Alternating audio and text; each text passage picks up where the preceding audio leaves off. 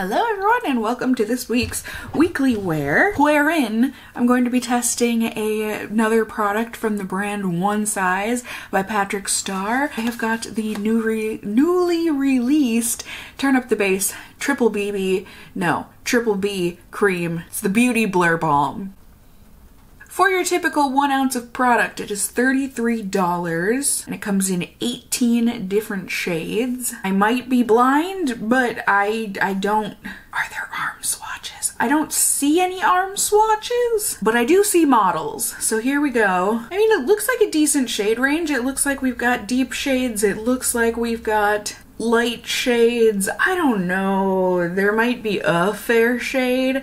I was having trouble figuring out the shade range, honestly, based on these models and based on the comments on Sephora's website. It seems like the shade range might be a little confusing. Like some people saying the fair shades are not actually fair, they're actually really deep, that sort of a thing. But this is supposed to be a revolutionary, one of a kind blurring beauty balm. Gonna improve the appearance of skin texture with all day hydration and comfortable all day wear. I mean, that doesn't sound revolutionary, but hey, if that's what Patrick Starrr wants to claim, he sure did. I love seeing that it's supposed to be good for acne and blemishes. It's oil free, vegan, cruelty free, alcohol free, and long wearing. All great things to see. And yeah, once again, it just says that this is supposed to be a triple threat against texture. It's got skincare in it and oil absorbing properties, as well as hydration properties It's going to be breathable, undetectable, skin-like finish, and why they only tested 33 participants, I don't know. I, listen, I have questions, not answers. But those 33 participants all said that it's hydrating, it makes the skin feel smooth, and it is extremely lightweight. How to use? It's versatile. Interesting that using a beauty sponge gives fuller coverage than a brush according to the suggested usage, but Anywho, that is what it is. So I got Fair 3. It's fair with golden undertones. I don't know, you guys. I did my best. We shall see. Definitely an interesting bottle here. It looks like kind of a typical foundation squeezy bottle, but then it looks like you push up on this. I like that. That's something new. I mean, does it make a difference? I don't know. It's just different from your typical screw off cap. So, as per usual, my friends, got my glasses for the glasses wearers of the world out there. No primer on day one. We're gonna try half of the face with a brush, half with a sponge. We have got things, variables that we are going to be testing. So let's see how this does. I'm still a little confused, just like, oh, is there, I think there might be a safety seal after I just talked about not having to screw this off, but hey, safety seal. We'll love to see it. So I'm still a little, because it's a BBB cream, it makes me think this is gonna be like a BB cream, but then the claims and stuff make it seem a bit more foundation-y. Okay, as much as I liked this, uh, maybe it's gonna be very messy. Thought that counts? I think we're just gonna have to go with that. Smells like a foundation, I think. Yes. It's apparently just been a while since I've worn anything. I couldn't discern in my mind whether that was a foundation smell or a sunscreen smell. No, it's, it's foundation smell. I'm pretty positive.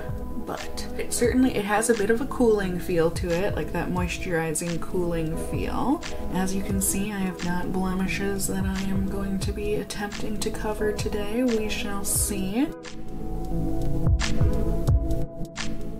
But yeah, it looks like it blended in nicely certainly does make the skin feel soft. I would say, it, say that it gave a fairly light amount of coverage. Now let's see, once again, I am very confused why they said sponge would give more coverage, but let's go ahead and test it out. Let's see.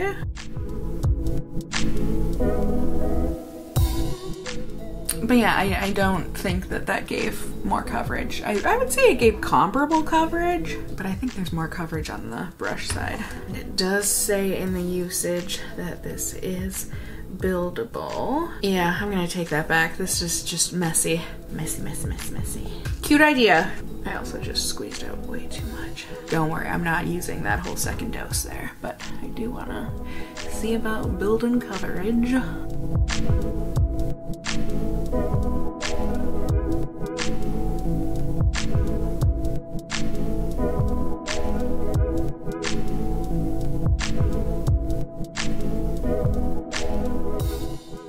There we have it. So I was certainly able to build up coverage.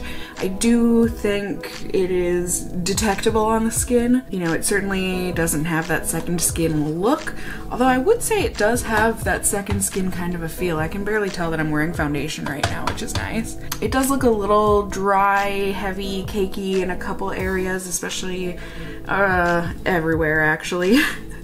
there are just little spots everywhere, like on the middle of my forehead, my nose, my nostrils, my chin. But uh, yeah, this is what we're working with. So I'm gonna work with it. We're gonna see how this does, and I am hoping it does a lot better than the powder foundation from this brand. We shall see. Time will tell, and I will be telling you in just a second here. Ready? Ding! Hello everyone, good evening. It's the end of the night here on day one. I've got all sorts of cat hair on my face. I just can't help myself. When I get home, I grab a cat and I smoosh my face into him and, you know, life is good until I put the cat down and then the residual. But hey, that's life.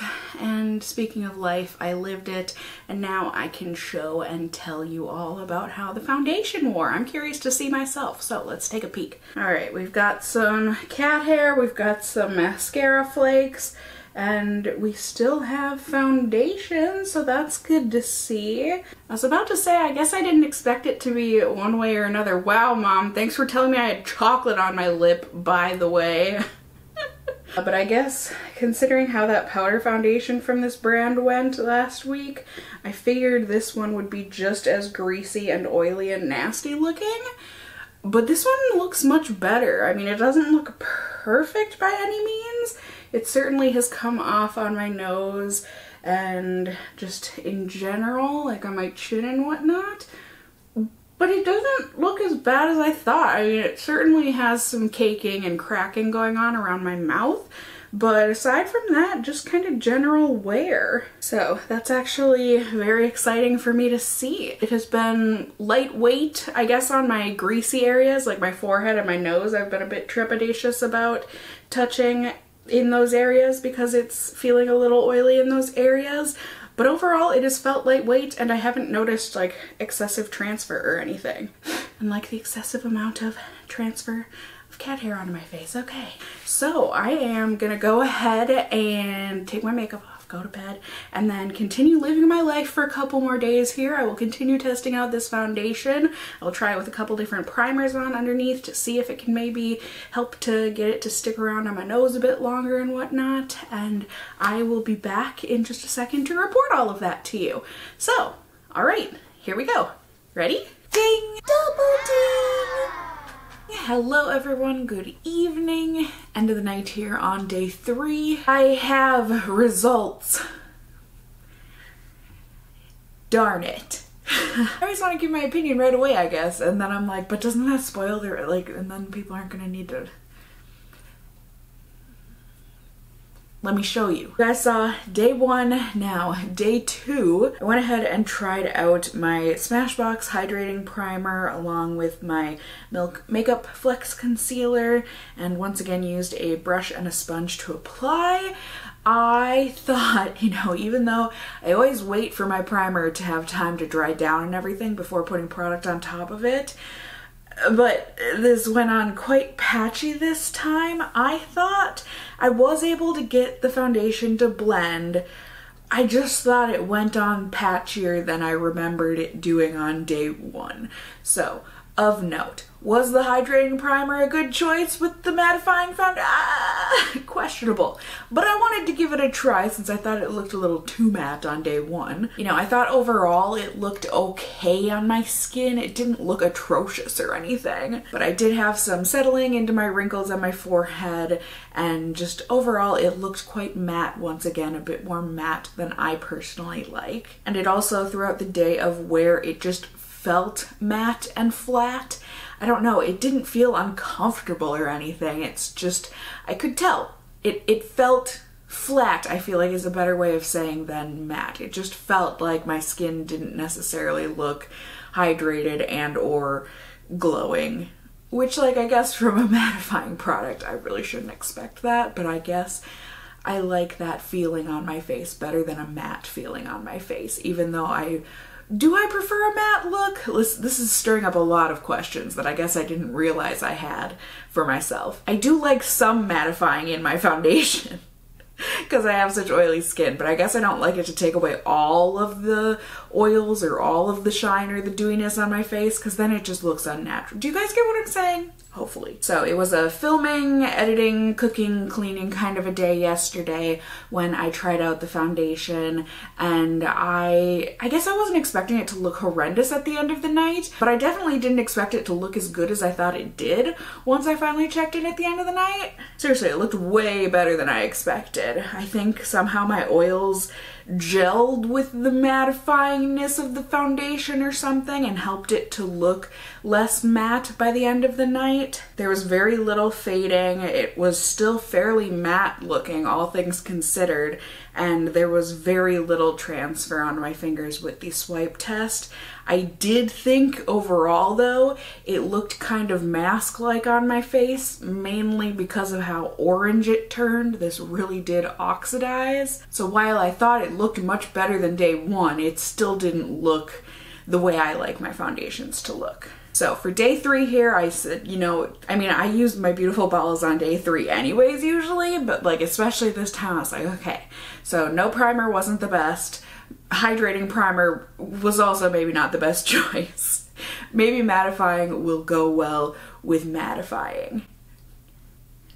Yeah, no. So I tried that out and also used my Laura Mercier concealer today. And once again, though, I felt like it went on patchier than I remembered it going on on day one. I don't know if I did something super special on day one that I just couldn't replicate on days two and three, but I did feel like it went on a little patchy again today.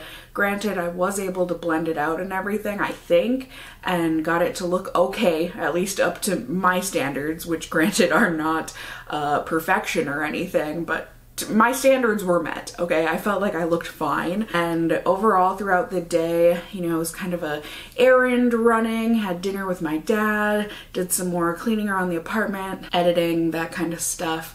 So, you know, a pretty normal day, but we had a little bit more activity, I guess, in terms of going out and about into the world. And once again, it has had that matte feeling to it.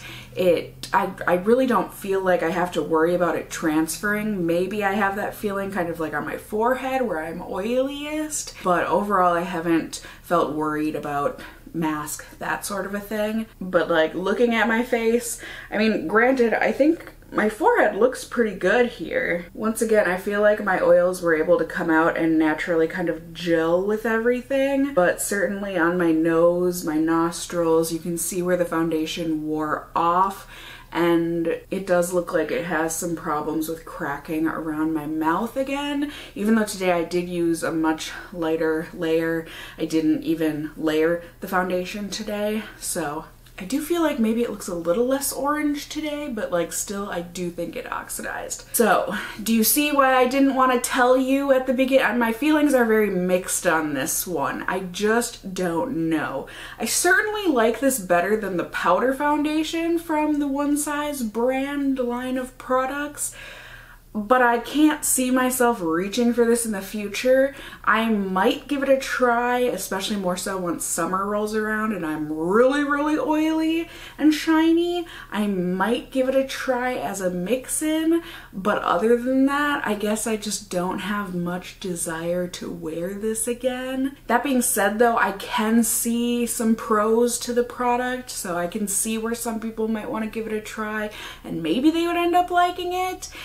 But certainly there's more cons, but either way, pros and cons, let's go through them. For the pros, I do have to give it credit. This is very lightweight. Like if you want a lightweight foundation, this is one of the lightest. Like it really hardly feels like you have anything on your skin at all. It's really only the oily parts of my face where I feel like this foundation is detectable.